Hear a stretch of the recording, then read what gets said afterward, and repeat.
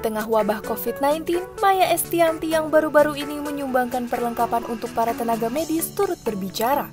Maya menyebut wabah corona datang karena banyak orang yang berbuat zalim, sombong, suka pamer, saling mencela, serta menduakan sang kuasa.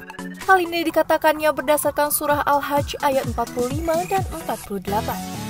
Ibu Al, El, dan Dul melanjutkan pandemi COVID-19 sebagai teguran bagi umat manusia.